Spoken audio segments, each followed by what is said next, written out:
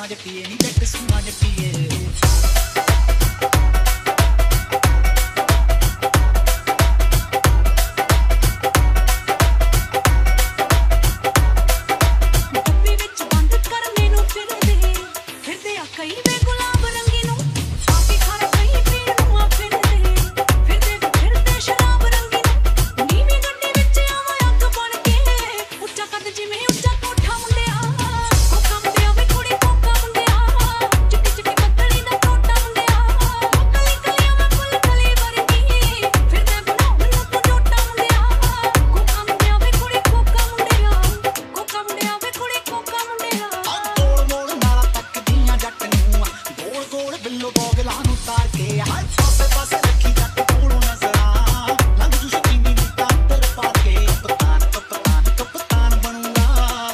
ਭਾਗਾਂ ਲਈ ਦਾ ਪਰੌਣਾ ਜੱਟੀਏ